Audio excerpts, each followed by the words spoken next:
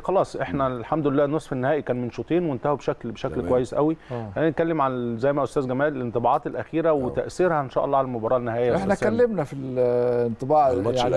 الحتة دي اتكلمنا في في جلسة سابقة في حلقة سابقة إن برضو المباراة الثانية دي مهمة جدا إن هي هتعبر بصدق عن قد قد إيه لعيبة الأهلي حريصين على اللقب فواضح جدا الحمد لله إن الفرقة متماسكة جدا. الهدف قدامهم واضح. آه، لعبوا الشوطين بتوع المباراتين بأحسن مستوى. طبعا أنا رأيي الشخصي إن مباراة ال- ال- الدار البيضاء كان أكثر متعة.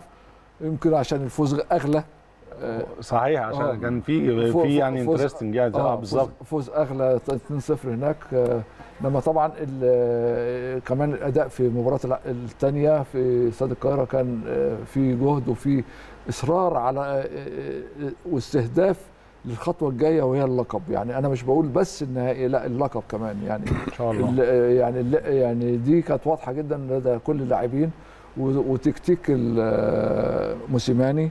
وإنه في وقت من في وقت من أما اطمن على النتيجه الكليه للمباراتين ابتدى يسحب بعض العناصر في المهمه جدا زي الشناوي ومروان محسن عشان يعني ابتدى يفكر في المباراة النهائية.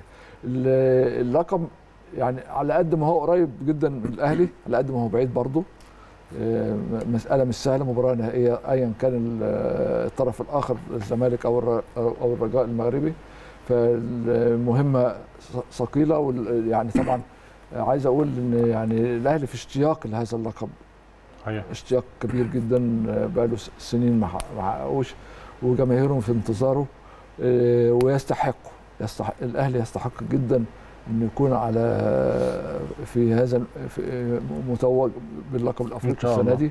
وطبعا يعني هيكون هيدي طعم أكثر آه، حلاوة لفوزه ببطولة الدوري يعني المبكرة آه، ويعني مش عايزين نقول العكس يعني إن ممكن ده يحصل العكس لا قدر الله يحصل. فطبعا تفسد فرحة الدوري تفسد تقصد فرحة الدوري بالتأكيد. ف ده وارد جدا يعني ده راسخ جدا أنا حاسه راسخ جدا عند لعيب الأهلي وعند الجهاز الفني وعند الإدارة.